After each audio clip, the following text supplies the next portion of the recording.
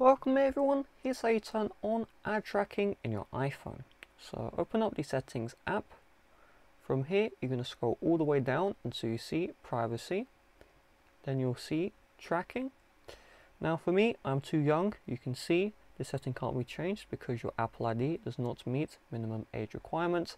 However, if you are old enough, you'll have the option to turn on allow apps to request to track.